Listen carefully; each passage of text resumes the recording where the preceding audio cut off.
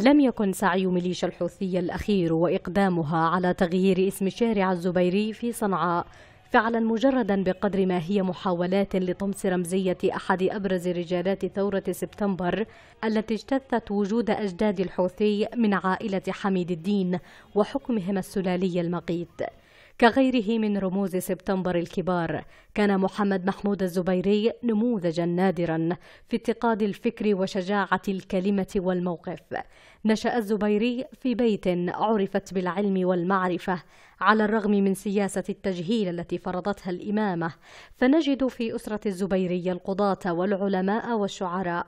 ومن هنا اكتسب الزبيري فكره ونبوغه. تطور فكر الزبيري السياسي والاجتماعي بمرور الأيام دون أن يفقد سموه ورقيه. فقد بدا مثاليا طموحا وظل يرتقي بهذه المثالية بالأدب والفن من أجل إقناع الجماهير وتوجيه حركة القوى الاجتماعية وإلهاب المشاعر والأحاسيس كما هو حال الكثير من قصائده. ولج الزبيري إلى الحياة السياسية وابتدأ مشواره فيها بالسجن من قبل سلطات القمع في عهد يحيى متوكل عقب خطبة لصلاة الجمعة في صنعاء. كان حماسها كفيلا بأن يغضب المتوكل ويأمر الزبيري إلى السجن دون نقاش. بعد خروجه من السجن سافر الشاعر القائد إلى عدن وفيها بدأ العمل مع رفاقه على تأسيس الكيانات الثورية.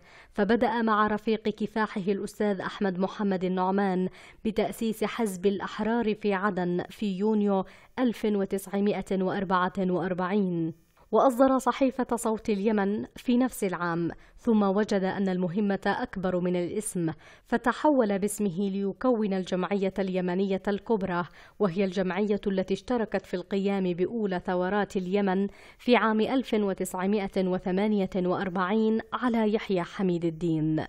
اعتمد القائد الثوري الزبيري على الفكر في إشعال الثورة ودون مبالغة فالتاريخ يتحدث عن كون الزبيري هو من أسس الأدب الثوري. أدب الثورة والمقاومة في ذلك الوقت وحين رحل عن الحياة بمهابة وعظمة اليمني الجسور. كان قد ترك خلفه تاريخ نضال وثلاثة دواوين شعرية عناوينها تحكي تفاصيل النضال الفكري. وإن سألت عنها فهي صلاة في الجحيم وثورة الشعر ونقطة في الظلام.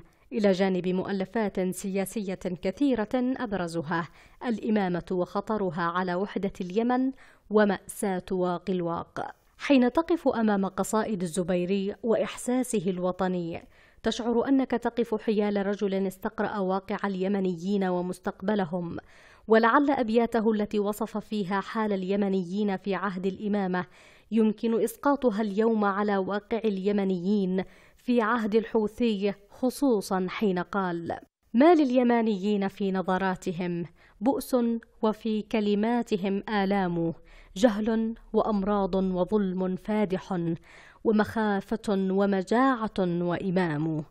لم يكن شعر الزبيري أنينا ولا نواحا بل كان شعاعا اشتعل ضوءه في فضاء اليمن ووصلت أنواره إلى أقصى قرية من قرى البلاد. ظنت الإمامة أنها استطاعت إسكات صوت الزبيري برصاصة غادرة وهب معها روحه فداء للبلاد. لكن الزبيري ما زال حيا في أوساط اليمنيين. يتردد ذكره في طابور الصباح كل يوم في مدارس الجمهورية حين يهتف الطلاب. بحثت عن هبة أحبوك يا وطني فلم أجد لك إلا قلبي الدامي. يعود ذكر الزبيري من جديد. بعد أن جاءت طبعة أخرى للظلم مستوفية كل نقائص الطبعات الأولى ونسخة هي الأبشع من الإمامة البغيضة ولعله يشاهد من مكان بعيد واقع البلاد ويصيح بأعلى صوته مستبشرا باقتلاع نسخة البغي مجددا. الملايين العطاش المشرأبة بدأت تقتلع الطاغي وصحبه.